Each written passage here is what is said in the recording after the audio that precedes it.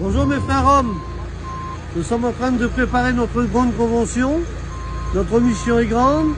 C'est pas simplement les Montnouches, mais la mission Vie Lumière, c'est nos frères hommes, les Montnouches, les Gitans, les Yéniches, les voyageurs, les Sinti. C'est tout ce qui forme le peuple Zigan. Nous sommes réunis ici à Gros-Tonquin. C'est votre convention aussi à vous.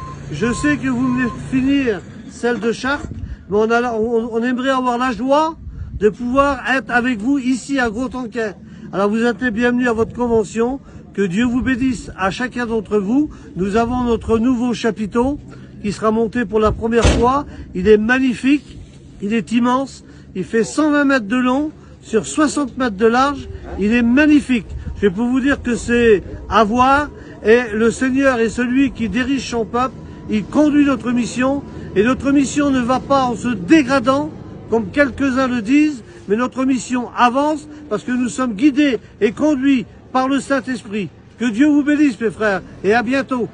Je vous en fais voir le chapiteau, Johnny. Hein. Oui. Voilà, il va être dressé, les frères. On vous invite, on vous attend du 28 euh, août, lundi 28. Que Dieu vous bénisse.